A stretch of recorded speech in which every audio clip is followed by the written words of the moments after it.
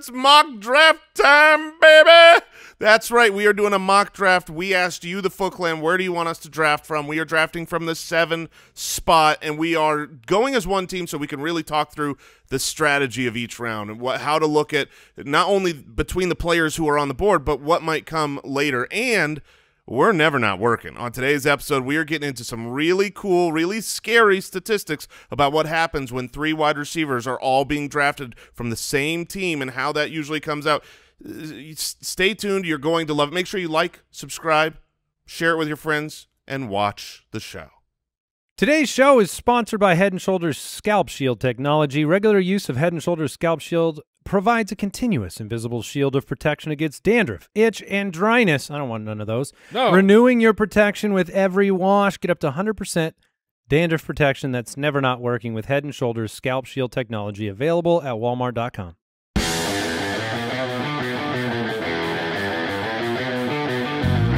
Welcome to the Fantasy Footballers Podcast with your hosts, Andy Holloway, Jason Moore, and Mike Wright.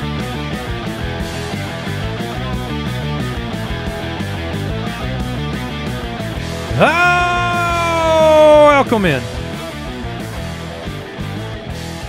Oh wait, is it football time? It is football oh, time. Oh crap! Go back. No, I'm so sorry, America. Oh, The ship has sailed, Mike. This is I'm a failure. a live recorded podcast. I don't even know what day it is. Well, it's Thursday, Mike. Thursday, August 19th. Some call it football time. We call it mock draft time. That's what's happening on today's show. Apologies to all the Patriots and Eagles fans playing tonight. It is football time. The fans are playing tonight. Yes, the fans. It's a in preseason they they play the starters for a quarter and then they bring them out and they put the fans against each other. And I'll tell you, man, if you want a, a wild game, you want the Eagles fans against the Patriots fans. That's going to be a hullabaloo. Yeah, I can't speak to the Patriots fans. We haven't done a live show in New England, but I could speak to the Philly fans. They're they're a rowdy bunch. we do have a jam-packed show today. I think this will be the most entertaining preseason week we get. Right? Should The- be. We're at the uh, you know, 3 a year now, new 17 game schedule. A lot of teams have said they're going to give starters the half, right? So we'll we'll get to see a little bit more this week I and overreact to all of it. I can't wait. Oh yeah. Uh, a reminder, we're doing a live stream tonight. We have the Ultimate Draft Kit for Life giveaway. For life.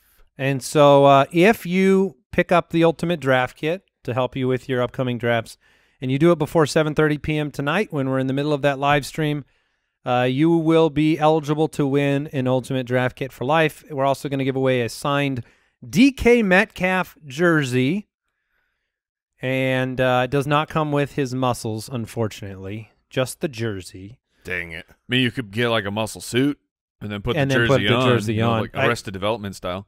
They probably have to account for his muscles when they print that jersey up. It's very flexible. Uh, and so the winner will be announced during the live stream. If you want to watch that, ballerslive.com will be live on YouTube, Twitch, uh, Twitter, Facebook. So very, very excited about that. And, and a reminder, deep breaths. If you've already picked up the UDK from February to now, you are entered to win automatically. So you're not missing out. You don't have to, I mean, you could rebuy it, I guess. You could go buy it again. For a friend. But it will be very the second one you get will be very similar to the first. Content wise. Well, it's probably updated since you first got it, but pretty similar. Yeah. So I once you buy it, you're good. And uh, anybody who buys it before 7:30 p.m. tonight at ultimatedraftkit.com, you'll be all good to go. Couple other reminders. You can find us on Twitter at the FF Ballers. Jason is at Jason FFL. Mike at FF Hitman. I'm at Andy Holloway. Socials, other ones, we got Instagram.com slash fantasy footballers. You can watch the show, YouTube.com slash the fantasy footballers. And the community is jointhefoot.com. We are the MIB today. Oh, we're all wearing, oh, I Yeah. see, the men in black. Yeah, we uh, apparently we all felt a little puffy this morning. Well, Yeah. I feel puffy every morning, Mike. So I had a big piece of cake last night. My wife made a cake. And um, well, I had a I had a potato soup. mm, It was very good. I mean, the cake sounds better. Oh, I could eat potato soup and follow that up with cake at any point. What so, were what were we feeling like when we decided to go the uh, the dark salmon colored shirts at the same time last week? Oh, very fit. Whenever you wear salmon, you're letting people know that you're you're feeling know, hot to trot. The color experts did come out in droves. what was the official verdict? Uh, like a red sienna. Ooh, I think that that one came up. okay. I have, I would say I don't know what that is, but I have the shirt. Okay. Well, I'm really excited. We've got uh, uh, a new segment that we debuted last week. Great feedback. We had a we had an awesome discussion about running backs in the second and third rounds, rookie running backs, and we're breaking it uh, breaking it down again today.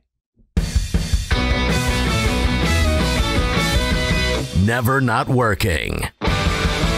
Presented by Head and Shoulders Scalp Shield Technology. Available at Walmart. Very excited to be into this segment once again. You know, we want to be fantasy players that have an edge over our opponents. They got the bachelor's degree. We want the master's degree. Every little advantage helps. Had a great discussion last week on what happens to rookie running backs when, you know, they get drafted with high draft capital and the incumbents there. What are the odds of the running back performing? What are we talking about today? Yeah, so we're never not working, and we're working it with wide receivers who are drafted together from the same team. Three wide receivers going in the same draft, all top sixty in the in the wide receiver ADP.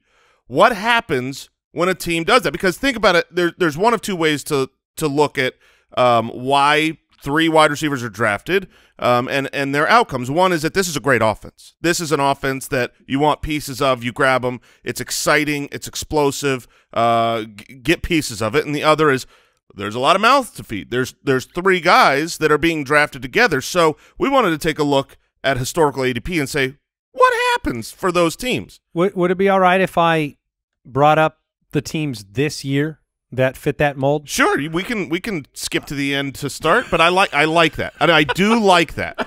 I do like that. So, what are the well, teams? You're, you're about to give a bunch of numbers about the historical information. I'd like people to have those teams in their head. Yeah, there are six teams this season uh, with that. So, name those teams. Andy. So you have Tampa Bay with Evans, Godwin, and Brown, hmm and that's kind of the headliner. You have Pittsburgh with Diontae Johnson, Claypool, and Juju.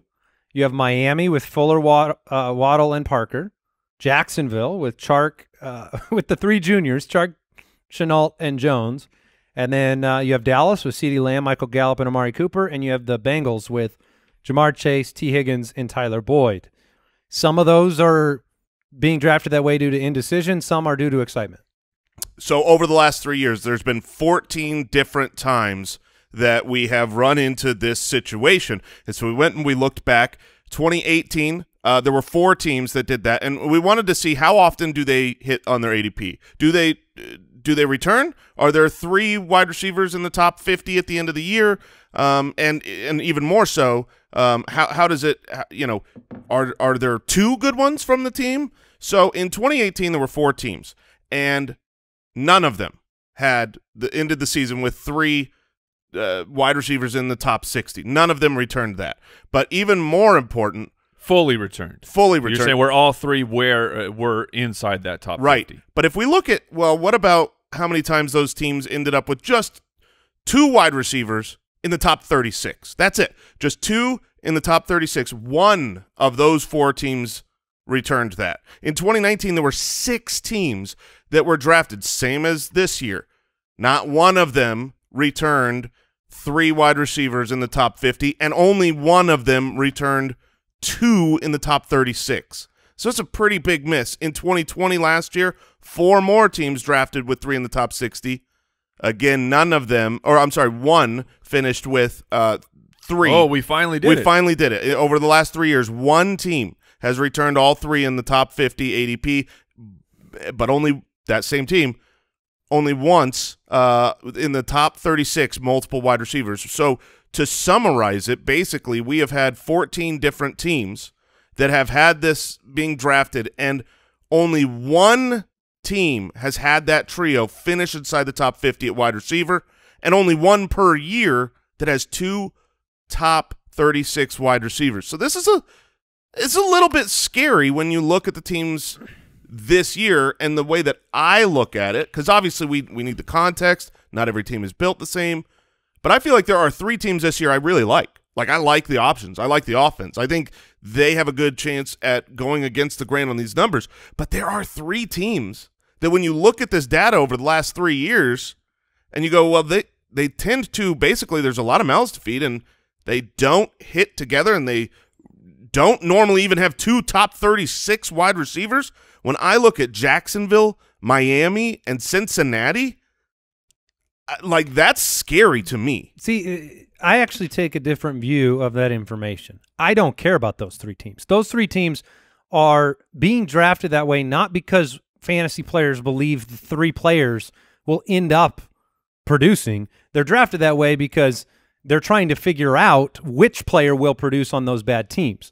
You're shooting your shot on those teams. Whereas I'm much more concerned about Tampa Bay, Pittsburgh, and um, what's the team Dallas. I'm missing? And Dallas, because those players are being drafted exceptionally high with high expectations. A good example is Chase Claypool, right?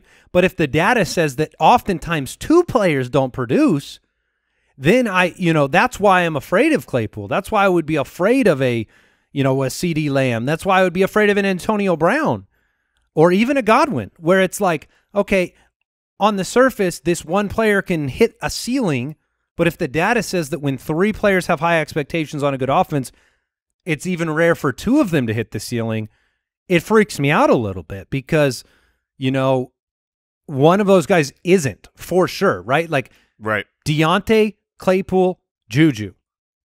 One of them's not going to deliver. Maybe two won't.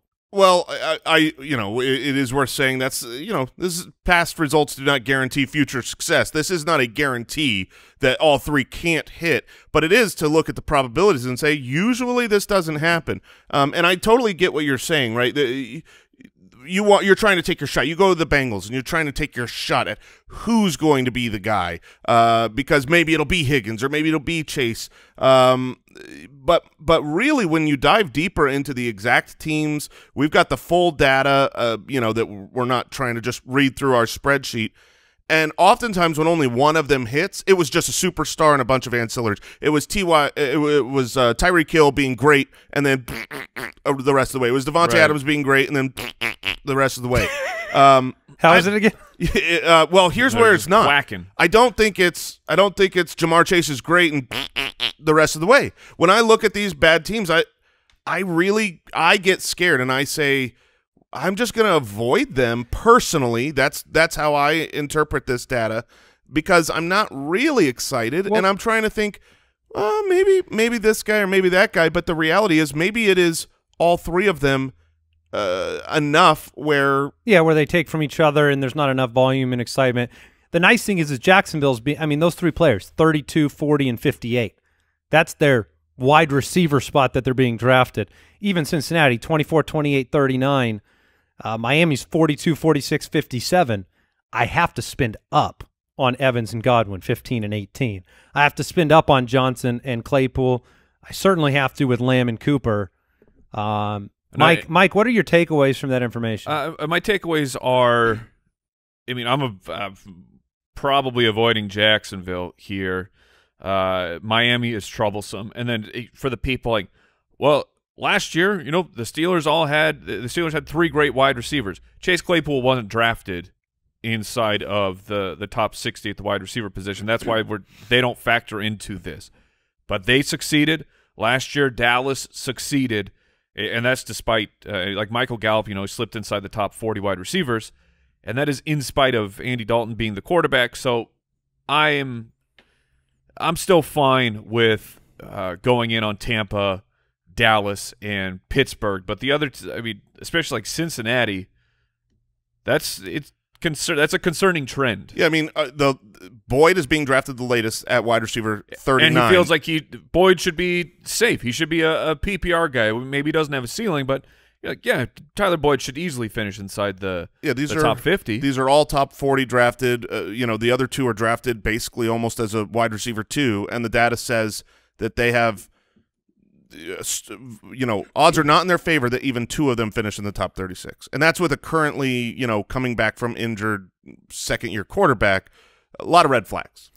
All right, get up to 100% dandruff protection. Uh, that's never not working, just like that segment with Head and Shoulders Scalp Shield technology available at walmart.com. We have a mock draft coming, but let's uh let's cover some news first. News and notes from around the league, presented by Sleeper. There are a number of just like real quick monitor these injury situations Mhm. news. DJ Moore hurt his back on Wednesday, re-aggravated it Thursday, left practice.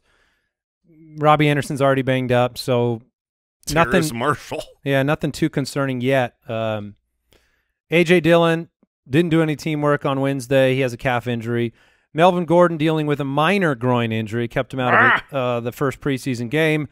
Obviously, for groin injuries, we all know the best resource, groinindex.com. We have updated groinindex.com. We've really given it a facelift to make sure that if you have any questions on groin injuries, uh, groinindex.com is where you want to go. And I know you're going to feel um, worried with typing that URL in Oh, into your it's- yeah, you're gonna, you're gonna. Safe This, for this work. is this is completely safe for work.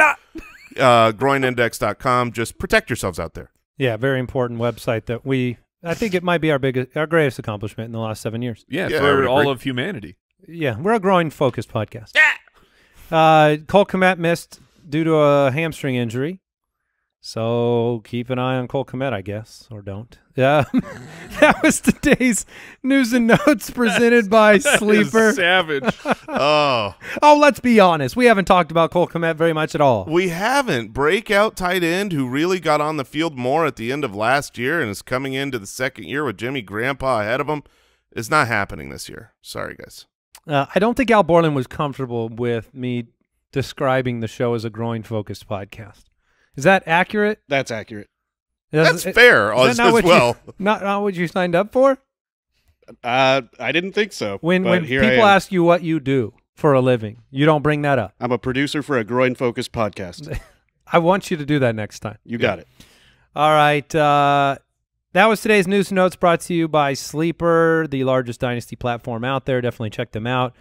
Um, about to draft our family league and get the leagues. All of our all the league setup stuff is happening right now. You know, setting schedules and getting things ready to go. Also, literally about to do a mock draft Yes. uh, with Sleeper because it is the easiest place. In fact, if you are in a keeper league, um, or you know, and your your your your league has a very nuanced, you know, people have this player kept or this this thing traded. You can actually set up custom mock drafts in Sleeper for your league like that. That's a that's new this year. So uh, check them out at Sleeper. All right, let's move on. The Fantasy Footballers Mock Draft. Very excited about this mock draft. We have not done a mock recently where the three of us shared a team. Uh, oftentimes, in recent history, we've all we've gone head to head. I think I was out one week. You guys went head to head, and so we we like to do that, and we're going to do that again next week. But this week we're going to share a team. It gives us some time to discuss, debate, argue, um, and more time to kind of break down our thoughts around the picks, which is what's valuable about mock drafting. Yeah, the the goal here is to see different strategies, talk them out, and and think ahead as to what happens if you go this direction or that direction.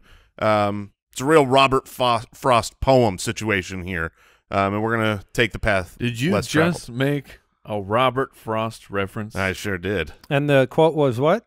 The We're gonna take the the path less traveled. Is it the path or the was road? it the road? Oh man, I just let just leave me alone. I, just let it go. You- you- Don't drill down on this one. just I barely got the name right.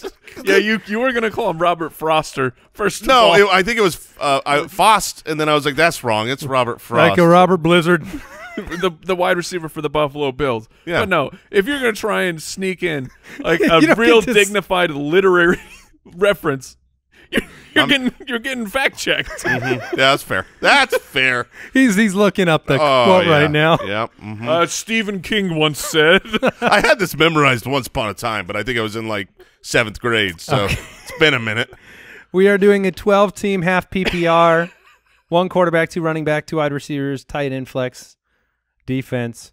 And we threw a poll up on Twitter and let the Foot Clan decide where we're drafting from. And so we are at the seven spot in this draft. Let's get it going. Christian McCaffrey goes 101, Dalvin Cook, Alvin Kamara, and then you've got Henry, Barkley, and Chubb. So the top six picks off the board Perfect. there is uh, there's a name at seven that that I I would certainly go with if this was my team and my team alone. But uh, you know, Jonathan Taylor, Zeke, you got the wide receivers, Davante Adams, Tyreek Hill. You've You got, got other Kelce. options, yeah. Uh, this this is the point. I think the seventh spot is one of those where you have to decide how many of the running backs you really love, and you say, "Man, they are anchors. They are true cornerstones to my team." That's my belief of this player in 2021. If one of them dropped to you, uh, it's pretty easy to pull the trigger on a true cornerstone piece. If not, if those guys are gone and you're debating between kind of that next tier of running back where you're saying they're good, but do I want to take a good running back or do I look at the best wide receiver? Do I go grab Davante Adams or Travis Kelce, grab one of those stud tight ends? We have not yet left a draft uh, in recent memory without one of those big three tight ends. And so here at the seven spot, you can go Adams, you could go Kelce, or for me, there is still a cornerstone running back available. Yeah, Ezekiel Elliott would be my pick. and that is who it is for me as well. And for me, the decision will come down to: Do you prefer Zeke or do you prefer Aaron Jones? And I have Zeke one spot ahead of of Aaron Jones, so I'm good with that pick. We're Yeah. comfortable. Yep. Look at us all on the same page. with, with- Look at us. with Chubb going at uh, team six. I, I agree with you. I would have gone Zeke here. I would have gone Aaron Jones with the next pick, and then at nine uh, is where I would based That's- on how this That's draft the went. Kelce switch. that was At where I nine, you switched draw the Kelce. line. Not necessarily, but I do appreciate the rhyme. Okay. Zeke at 107. having a good time. Our first pick, Jonathan Taylor went next, then Aaron Jones. So you have the first nine picks of running backs, then Hill. So your first wide receivers, Tyreek, then Adams. Ekeler sneaks into the back of the first round. Good for you. Way to go. Awesome. Ekeler. Isn't he joining the show soon? Brooksy? Look, there's rumors. There's rumors. But like confirmed rumors, right? What? No, I they're, they're rumors. Are they just rumors right now? They they're nodding that they're just. I think they're Okay. confirmed. I'll I think he's he. I think he's joining It's us. mostly It- confirmed. It depends How- on his practice schedule. we'll make some time. we come Austin. second. Austin, That's ridiculous. Ekeler, we got you into the first round. we call you awesome, excellent. Yeah. That's your name now. Get on the show, bro. We're we're reverting now back to just awesome Ekeler. Now he did come on the show again last year, right? Uh, I think so. And, he, and he got a little banged up. Yeah. So hopefully he doesn't associate the two. All right, DeAndre Hopkins starts the second round, then Diggs. Kelce drops to 203 in this draft. Oh, oh, a little Kansas City stack there for Team 10. Yeah, Team 10 went Hill Would- and uh, Kelce. Are you opposed to that? Going Hill and Kelce there? No, I, I, I am You'd- not. You'd, be happy about it? I am a hundred Kansas City barbecue in the first and second round. I mean, uh, we we talked about uh, stacks on yesterday's tips and tricks episode. This is a different type, and this doesn't give you the upside, but it gives you a little bit more consistency. But specifically, if you can get Hill and Kelce, that means you get all of the Kansas City Chiefs offense. Metcalf goes next, then Mahomes. And here we are on the clock. 206. We have our foundation running back, Ezekiel Elliott. There are still a number of good running backs available from Mixon, Harris, Gibson, uh, Clyde's there. Najee You could um, at wide receiver. um, Ridley. Yep, Calvin Ridley, AJ Brown, Justin Jefferson. Uh, I think it's too early to snag a Kittle Waller for my taste over the types of like a Calvin Ridley or an Antonio Gibson. Um, and so now this is where what we're what we're really deciding with our second pick is almost less about who we're taking here because there's a handful Yeah, of guys I'm happy yeah. with, but it's more about how do we want the next round and, and thereafter to go. Because if we take a wide receiver here, there's a good chance we're looking at running back next round and questioning can Clyde Edwards Helaire fall to us there? Could Joe Mixon fall to us there? I don't think I'm going to be happy with the running back that falls to us at 307. I think I'll be content with a wide receiver that does. So it Uh, makes me I- lean towards us deciding between Gibson, Harris, and Mixon. I completely agree with you. I, I love Calvin Ridley. He's as good as any of these players, but at if we were closer to the turn, so if you're drafting from the second or the third spot, that's where that third round you can find Clyde Edwards-Helaire a lot, and I love that. But I, I agree with you, Andy. So let's go running back and decide. Those are the exact same names I would be looking at. At the at wide receiver, for me, if Calvin Ridley's here in the middle of the second round, that's full stop at the wide receiver position. But running back, I would I have them ordered Najee, Clyde Gibson, Mixon. Uh, but I know that both of you are higher on Joe Mixon than I am. Are you willing to take at this point, like having gone through the offseason, Jason, thoughts on Najee in general in the middle of the second round? Yeah, I mean this is where he belongs. He volume trumps everything, and he is going to get the volume. Um, would I necessarily take him over the success we've seen on the field already from an Antonio Gibson in a larger role? Probably not. Over a Joe Mixon, who pretty much is that's the same thing as as Najee. He's got the job completely to himself. Um, my rankings would actually go uh, Joe Mixon, Clyde Edwards-Helaire, Antonio Gibson. We talked yesterday about the value of a touch and getting those targets Mm-hmm. at the running back position. I still believe that Joe Mixon has the highest reception total of the three players, so he would be my vote. It would be Mixon slightly above Harrison Gibson. Uh, that, that's fine. I've I've figured we were going Joe Mixon, so You just made a concession speech in your Yeah. own head. Yep, I was just letting everyone know I would not take Joe Mixon here, but I'm sure that we are going to. You were the one who talked about the value of a touch. Yeah. Oh, and that's why I would. That's you, why it you would be believe, Najee Harris. You believe Najee Harris is going to have more receptions than Joe Mixon? I believe that. It's a pretty Yeah, I think he will. okay. I, I think they will both probably have about the same touches. I, I really do. But having Giovani Bernard out of the way opens up a lot of work in the passing game for Joe Mixon, and and uh, he's pretty much like a Ezekiel Elliott light. So we got two two really true three down workhorse type running backs on our My roster now. my heart. I'll tell you this, Mike. My heart wanted to take Najee there. Oh, okay. because of the uh, and this is what happens with young star players. You just you know any fatigue or any of those bad emotions we talked about on the Tips and Tricks show with Sure. Joe Mixon. Like somehow I believe in Joe, but sometimes I don't want to draft him. Sometimes I want to draft Najee or I want to draft Gibson and see the infinite upside. Before we move on to our next pick, Foot Clan new FanDuel fantasy players, your day is about to get 20% better. Start playing fantasy this football season, and FanDuel will give you a 20% bonus on your first deposit up to $500. That's, as we say on this show, BTB. That's Big a big time time bonus. That's, that's a big time bonus, and all you need to do uh, to claim this offer is make your first deposit. FanDuel and Daily Fantasy, it is the perfect pairing to your season long uh, leagues. You get to set a new lineup every day. We just talked about sometimes, you know, sometimes Andy's feeling Joe Mixon, sometimes he's feeling Najee Harris. In your season long, you're you don't get both.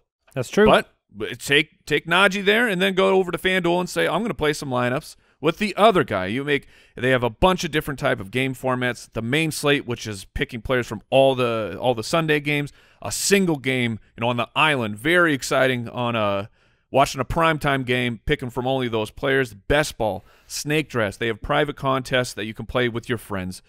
If FanDuel will will take your uh, your fantasy season to the next level.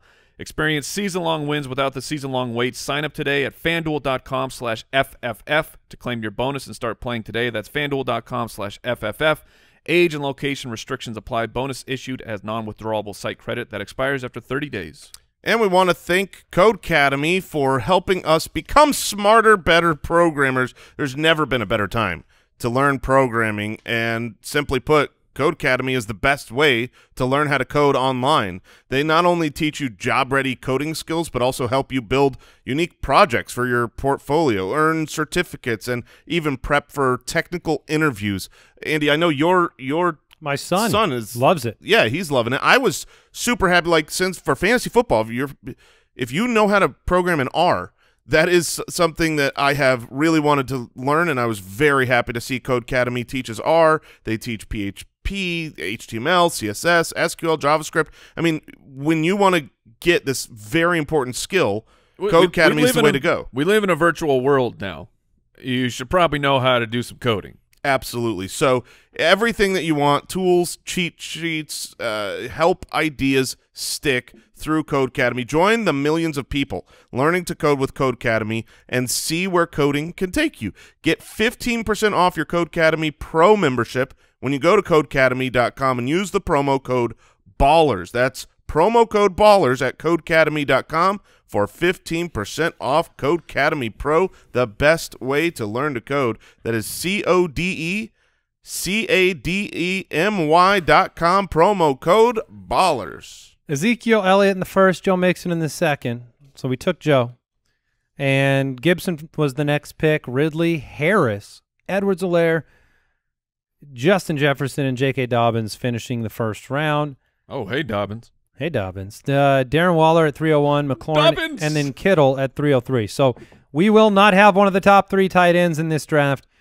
They're gone. Keenan Allen, Antonio, or A.J. Brown, and David Opportunity. Yeah, and and really, uh, David Montgomery would have been the last running back. You know, we were choosing: do we want to go? Well, we like the running backs left in this round. When we're if we go wide receiver in the previous round, and Montgomery fits that bill for me. But after him, we would have been selecting our running back two out of Chris Carson, Josh Jacobs, D'Andre Swift, Miles Sanders. Like personally, I am not about those guys. Like I, am not in love with those players by comparison to CeeDee Lamb and Allen Robinson and some of the wide receivers that are are available here. Mike, where where's your head here? What do you want to do with this pick? We've got, like you said, Robinson, Lamb. You got Evans. You've got Godwin, Cooper, I DJ would- Moore. At the running back position, I would be open to Chris Carson. I have him slotted one spot ahead of David Montgomery. I, I, I believe that Chris Carson will be the leader of the Seahawks after receiving the bag, and they're I mean they're a high scoring run first offense. So Chris Carson is interesting here. And then over at the wide receiver position, uh, he's he's at the top of the ADP for a reason, and it's Allen Robinson, who's just a real solid wide receiver one for your team. It doesn't feel like top five is in the range of outcomes for Robinson. I won't say it's impossible because he certainly has the talent. Maybe Andy Dalton, who's he says it's his time. Oh gosh, you see that? Oh Yeah. yeah, I mean, That's cute. Justin good, Fields. good for you, Dalton. Good, Justin Fields is going to have his time in a great career, but this is my time. good for you, Dalton. And you're right. This is your time. Yes. The claim preseason. It, claim it quickly. It is going to be gone soon. it will be bedtime yes. very soon. Uh, and so, but maybe maybe Andy Dalton is is solid for a couple stretch, or that the move happens to what did I say? for a couple stretch. Oh, for for a couple games, for a stretch of games, uh, and then or maybe we move over to Justin Fields and he's as advertised, and then Allen Robinson's ceiling does move up. Allen Robinson, But for a wide receiver one, this is that's where I would be. Yeah, going. Allen Robinson has been a back-to-back top 12 wide receiver. He's been a fantasy wide receiver one. He is my wide receiver eight right now. Uh, that would be my personal pick. Uh, And when you're grabbing your first wide receiver in the third round, uh, it's very nice to have a guy who's going to be north of 150 targets. Is that where we're going? Yeah, I think because the other names like Evans, Evans is going to be solid, but he's got some questions. We just talked about the three wide receiver uh, conundrum. Godwin, CeeDee Lamb. I mean, these guys. To me, it's between those are- CeeDee Lamb and, and Allen Robinson. Yeah. So we'll take Robinson. are here. you so? Are you're to the point where you are comfortable CeeDee Lamb being your wide receiver one in I- the draft? I am comfortable with that. Again, Okay. I, I took Allen Robinson here because I'm even more comfortable with Yeah, yeah. 150 guaranteed targets. But um, you also would have stacked Zeke and Lamb. right, you taken Lamb Yeah. there? yeah, that that's something to consider. Another tiebreaker reason to go Allen Robinson's way. After Robinson comes Jacobs, Evans, Swift, Allen, and Lamb finishing the third round. Julio at the top of the fourth with Carson, Cooper, Murray, and Miles Sanders. I do think that the dip on Miles Sanders may be a little too exaggerated in the fantasy world right now. Fourth round is that's solid. That's solid value for Miles. That's what I mean. I, I think that, you know, it's very clear from like he's still the guy Well, in he- Philly. They're going to share the load, but he's still the guy at the top of that depth chart. Yeah, I totally agree. The the biggest question for Miles Sanders comes down to what about the passing game? You know, yesterday's show, we the value of a touch is, I mean, a reception is worth almost three x what a rushing attempt is in a half point scoring format. That doesn't even factor in what it's worth in a PPR. But last year, it, the, was tough. He had the drops ranked out, I believe, as the worst uh, pass catching running back per Pro Football Focus. You have Boston Scott still established as a as a top level third down scat back, satellite back. They draft Kenneth Gainwell. Uh, so that's my concern for Miles Sanders, just that the ceiling is is not truly there. But for for the the the guy number one on the depth chart, the fourth round is fine. I really like what happened here with the players that came back to us Okay. in the fourth round because there are two, and you guys can maybe de- debate which one you'd rather take. Two that I love here. One of them's Chris Godwin. Okay. Um, Chris Godwin in the middle of the fourth round. I think he has such great potential with Tom Brady this season. Last year was hijacked by injury. This is a player that's finished in the top. You know, he's number two overall two years ago. I will. I'll give you some breaking news right now. He's not a my guy on tomorrow's episode, but he's as close as you could have gotten to a my guy because of the price to value ratio for me on on Chris Godwin. So I'd love to pair like Robinson Godwin. Talk about incredible Yeah, target solid. numbers and reception guys to go with Zeke and Mixon, or or you go and you look at the running back room Ooh, I and wonder you- for Samesies. and you say Darrell Henderson, Yeah. who I somehow have higher than both of you guys after I've reappropriated my mind to that backfield and what that team's going to do. But Henderson has real top 15 upside in the middle of the fourth round. yes, he does. Jason, where are you on Henderson? Um, I, I Henderson is like the only guy in these middle rounds who I love at running back because he is undervalued. He's someone that is a pretty much guaranteed to be a top twenty running back. we back. have to take him. Um, and and I'm fine with that. Personally, I, the the wide receiver I would have looked at would have been Tyler Lockett here. I think the boom nature mixed with Allen Robinson's consistency is is phenomenal. But if you are grabbing three running backs in the top four rounds, it allows you to really You might get Lockett next round. you could you could oh man oh man that would be let's let's follow along. I'd be I'd be hot and bothered. the glasses would fog up.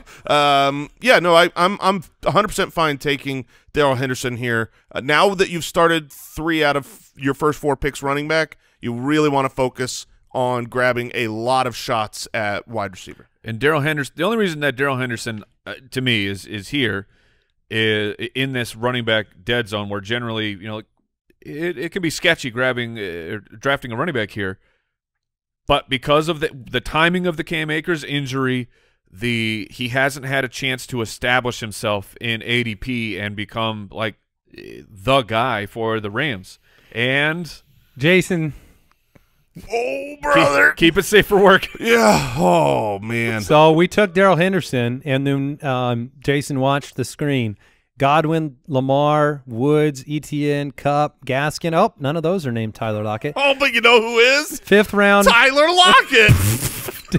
DJ Moore, Kyle Pitts, I don't even know what that Diontae means. Johnson, Kareem Hunt, Andrews, and Hockenson. The tight end run happened, and because it happened with Pitts, Andrews, Hockenson, the next tier, Tyler Lockett's sitting here in the middle of the sev- uh, fifth round, It, it's really funny. Ty, uh, uh, you know, and I Hawk- assume we're taking him. yes. I'm going to bring up another Yes. name though. Okay. While while you do that, I'll just describe real quick. I I, I really like uh, T.J. Hockenson. I believe he's going to break out this year, but I haven't had him in many drafts because really because of the value of Tyler Lockett. The, the it's it's they go so near each other in each draft. Yeah. And if I'm one spot ahead of him, then great, I'm taking Tyler Lockett. But here.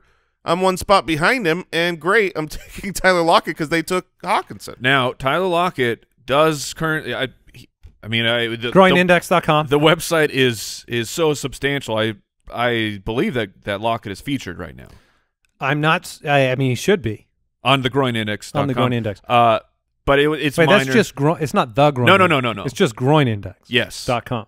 Uh, You got to start with the groin. starts and ends with the groin always. I'm not concerned. No, as not of right now. I'm, I'm I would draft him as Yes. normal. as would however, however, okay, let's hear this other name. Michael Thomas.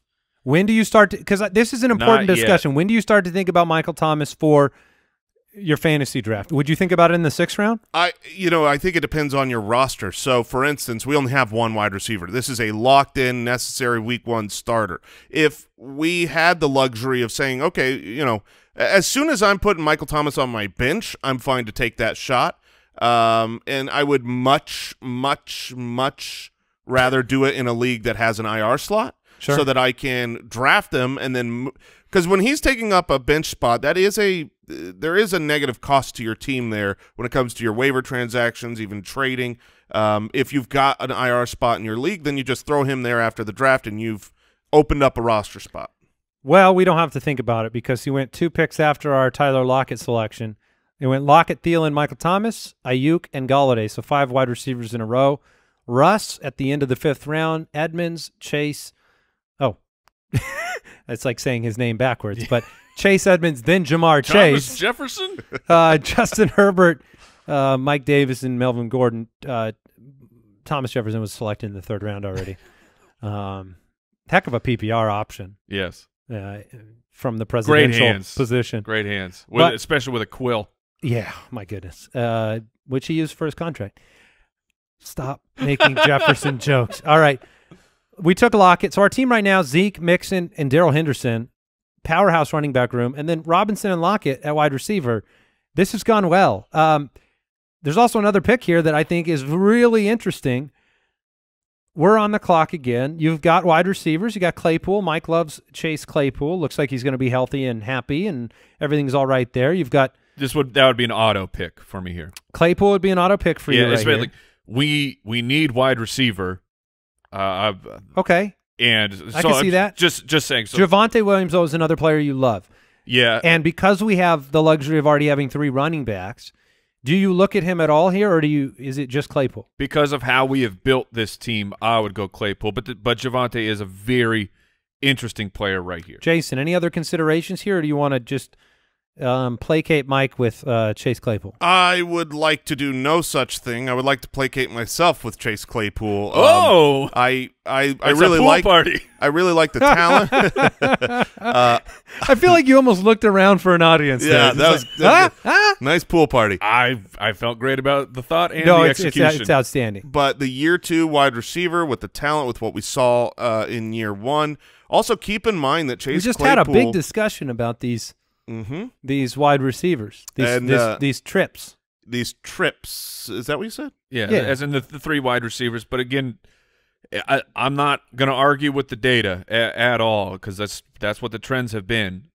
But if but a team that would have done it last year, it would have been the Pittsburgh. Don't you love it when data meets data in a in a battle in a coliseum? Because What, the like from the Star wide Trek? receiver two breakout age versus the Yeah. three wide Yeah. receiver ADP. I mean, these things something's got to give. these things are just nuggets of knowledge that we use in our in our arsenal. It's not a guarantee of Right. anything. It's just more information and and the breakout potential here for Claypool definitely exists as our wide receiver three. I'm I'm thrilled with that. I did. Uh, we did confirm that Tyler Lockett is featured on Oh, groinindex.com thank goodness. with a quote of "Ah, my groin." Okay, good. It's to be expected. That's what he said. Yeah, Uh, well, guys, I, I'm I'm kind of having a hard time over here. Um, it's a sad day. We're we're in a mock draft. okay. We're in the seventh round, and I'm afraid that I'm seeing some of the future. Mm-hmm. But Tom Brady's gone, Mhm. and uh, so is Aaron Rodgers, Dak Prescott, Jalen Hurts, and Matthew Stafford. So five quarterbacks between our sixth round pick and seventh round selection. Brady is not even waiting for the eighth round here. He's been selected at the very tippy top of the seventh. Uh, Here's what uh, my the hope that I can bring to that is looking through the grid, which uh, we didn't do, we didn't do this one as a, a top ten trip uh, tips and tricks this year, but we have brought up. Make sure you're paying attention. Uh, the The grid format of the draft is that's the easiest way to see what is going on, and every team has a quarterback. That's not that's not a guarantee that someone won't take a second quarterback, but currently each team already has their QB one, and Mr. Tannehill, our other late round champion, is still there. So So don't draft him here. personally, No, I would not take him I there. would gamble. I mean, you if if you are if if you got the shakes and you're like, I don't want to miss out on this quarterback, okay, it's the seventh round, that's fine. But I think at the opportunity cost, you could you could bet I that have Tannehill will come I, back. I would completely do that, and and especially in your real drafts, your live drafts. This this isn't this is a mock draft against ADP. It's possible that the computer would take a second quarterback here. Um, it's more of a gamble here than in your real draft. I don't think. Ah, the people are crazy in, in home drafts. Sure, people can't get crazy, but I would certainly look at that. Say every team has a quarterback. We're not going to push the envelope and, and draft one here. We'll wait. there is a a super clear pick to me right here.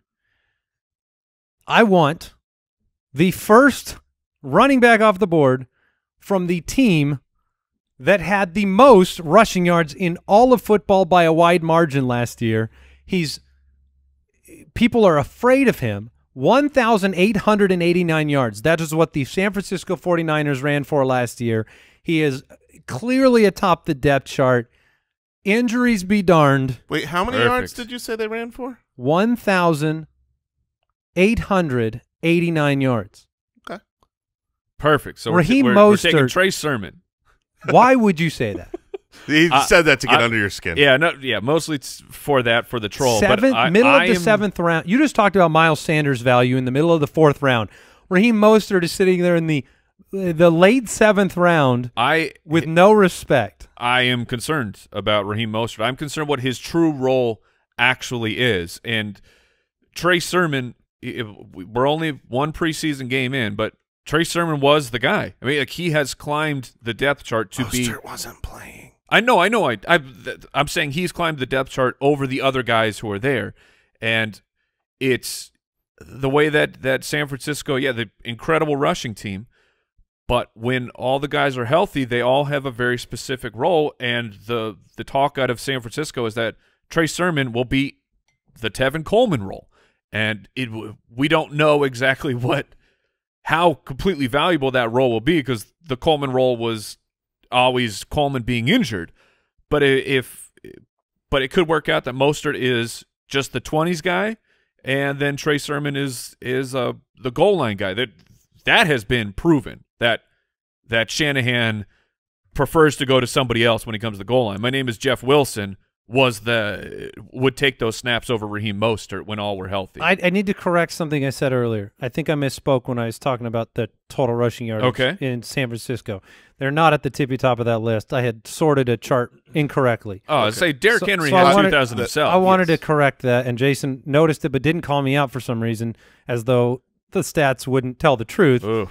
I, Um, I got us trying to, say- get. I got us to get there. You got to Robert Frost him on that but one. but again, I think uh, last year you spent. I mean, you talked about it yesterday. What Jeff R- Wilson represented, stepping into that role. Um, we don't have to take Mostert here, um, but that I'm would, just- that would be my vote. I'm, that's my. I'm concerned about Mostert. So I, I do understand the concerns o- over Trey Sermon. That's the drumbeat. That's the hype. Uh, that does not get in the way of me believing that Raheem Mostert's going to be very fa- valuable for fantasy. I, I 100% expect him to be the starter and to be great when he's out there. He's a guy that needs 10 or 12 touches to take something to the house. He's not a running back that is going to get 20 or needs 20 touches to be valuable. So I am 100% fine taking Raheem Mostert here. Uh, I, would it's you worth be taking Damien Harris ahead of Raheem Mostert, Mike? Because I, I I doubt you would do that. Let me check my. I would not. Let me check my I mean- projections. While you're checking that, let me just bring up the tight end position real quick. There are about four teams that don't have their tight end yet. Um, three of them are on this turn.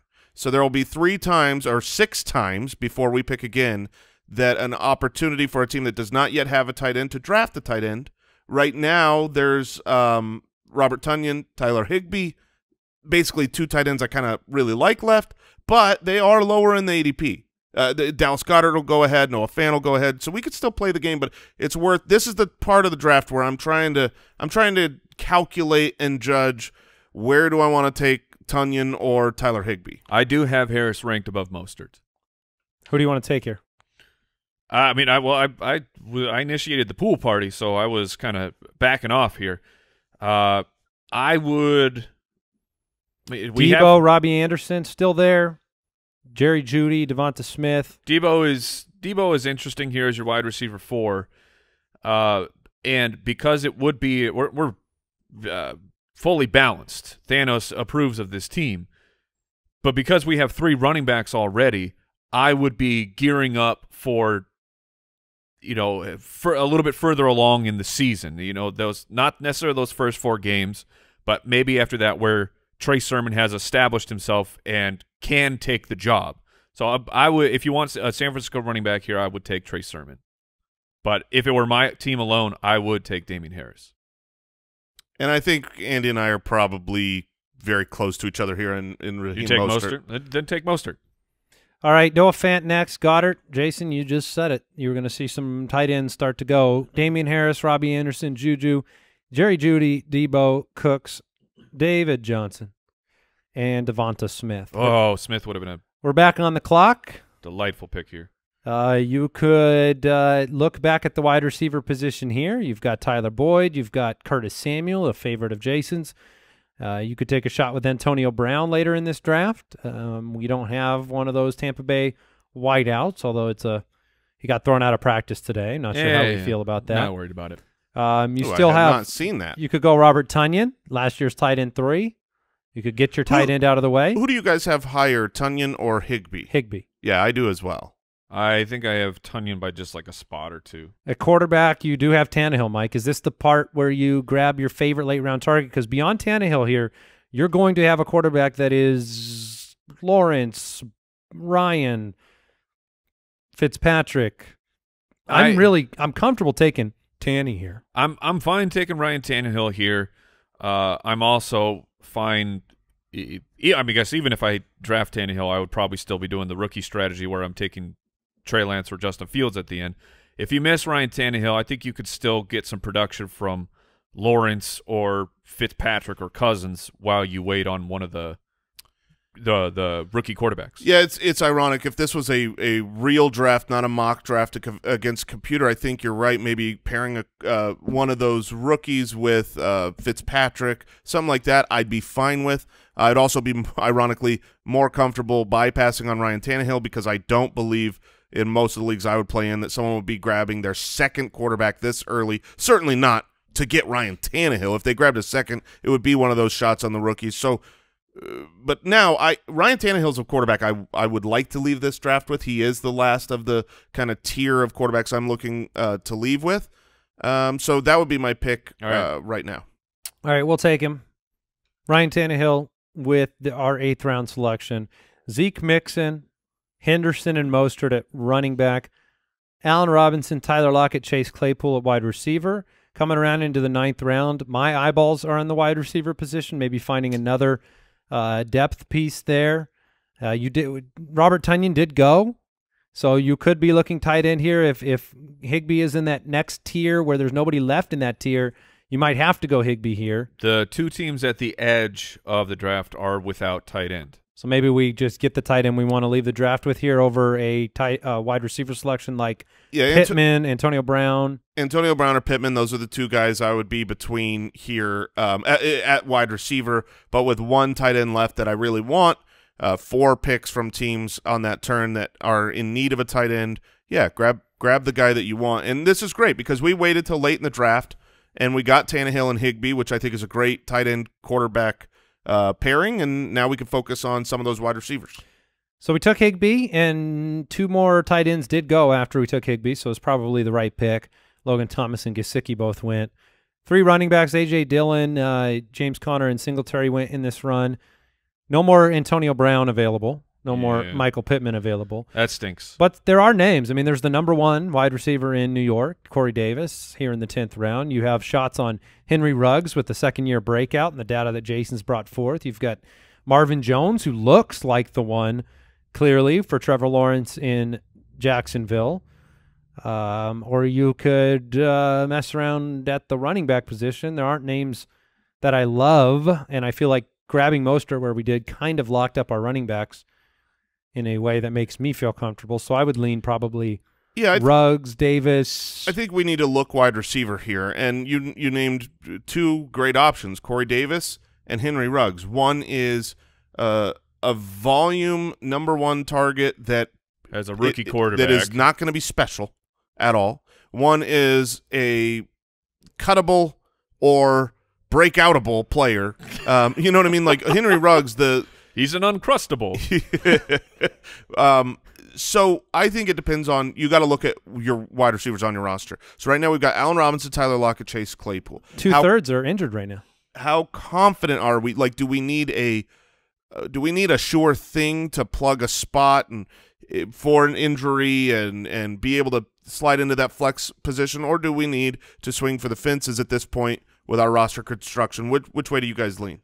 I lean the plug a spot, have a bona fide player that you know he could have some upside. I mean, uh, there is the possibility that Zach Wilson comes out and I mean he's looked good so far, and maybe he laser focuses on Corey Davis. It's not a sexy pick. I mean, it's not. There- Um, there's another not and I'd be fine with Marvin Jones too. there's another not sexy pick that I think we could get next round, or I mean, maybe even the round after at wide receiver that I think is both kind of a, a somewhat sure thing and has a little bit of upside. Nelson Agholor is someone that at the end of drafts, I think he fits our roster pretty well. I would not take him here, but at least worth Mike, watching who, who do you want here? along. Make the pick. I would take Corey Davis. Uh, un- unfortunately, it, drafting today with Tyler Lockett, we're not worried about the groin injury, but it's there.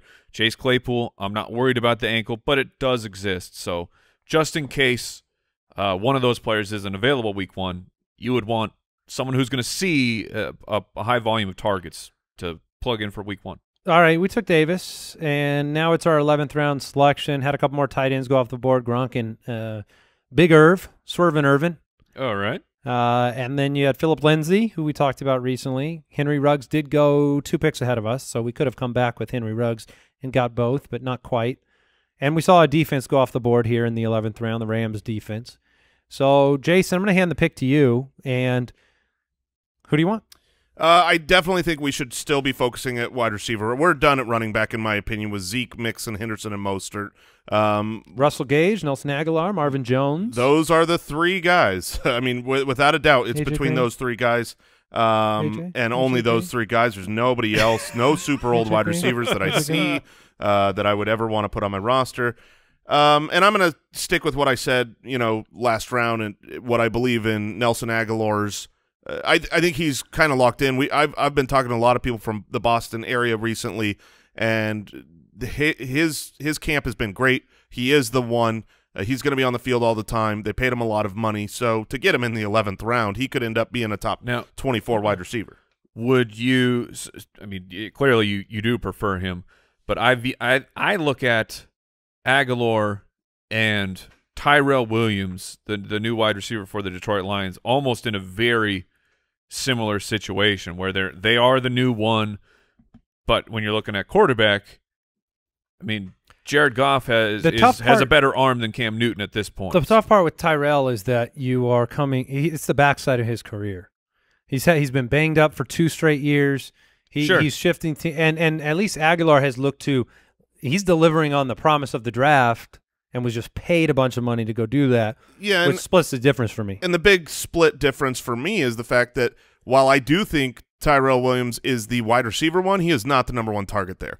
Hockenson, I still believe, is going to be a 130 Okay. plus target. That's fair. guy. So now he's the second receiving option. I want to take a shot at having the first receiving option. Mike, I'm going to give you our last positional pick before our defense here. Marvin Jones still on the board. Russell Gage, who I try to get Russell Gage at the back of every single draft I'm in. Uh, he has tremendous upside. You could shoot your shot on somebody that you are looking to get a week one performance from and then drop. You know, it's like if they don't deliver, it could be a Jalen Reagor. It could be a You can also just throwing this out there. I, I don't like doing it before the second to last round. Uh, so don't get too cute in your drafts. But in that second to last round, if there's a defense that you're targeting, you could go that way and then take your last positional pick uh, with your next one, which Ravens, to me would be Steelers. Right. The, the Ravens are great, but the 49ers also they start with the uh, they start with the Lions and Eagles. That's So- yeah that's not bad delicious. Yeah. I Uh, bet we could get him with the last pick. Uh, I'll bet you're right. if I'm looking at like there's you could take a backup running back here, an insurance running back, just in case something's happening throughout the you know training camp or week one. If I'm looking at the wide receiver position, Russell Gage is Russell Gage is, is so tough because he should see a bunch of volume. It- we saw that switch last year once once Julio Jones was finally out. Russell Gage was a big part of the offense. Uh, I think that Kyle Pitts can create a problem for that volume, and Russell a bet on Russell Gage is simply that. You are really hoping that there's a bunch of volume because he's a fine player, but I don't think at this point we're proclaiming that Russell Gage is going to level up and become a truly special player. Would you look at Rashaad Penny? I would no, Would I, look- I wouldn't. I was going to get to James White? AJ Green. No, I'll be I'll be looking at a wide I receiver. tried for you, Andy. I would be looking at another second year wide receiver, and so I, for me, uh, two players that can take a step.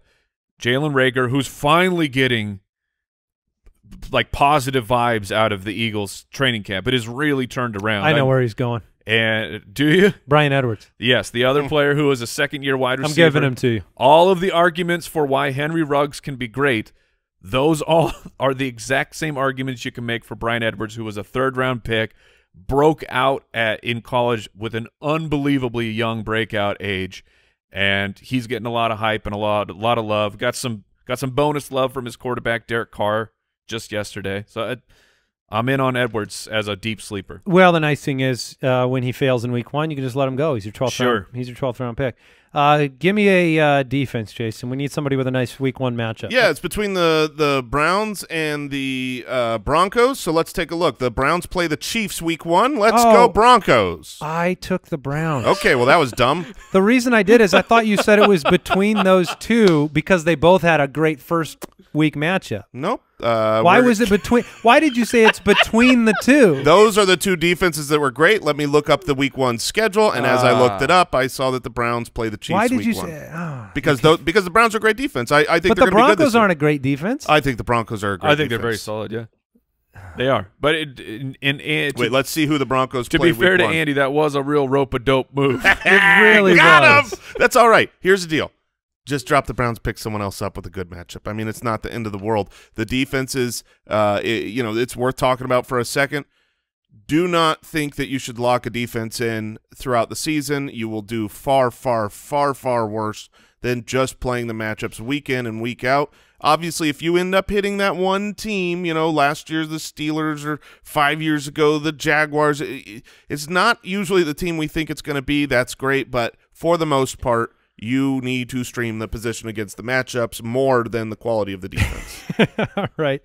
Um, I always look for the Chiefs matchup in my defenses. That's what, that was what I was honing in on.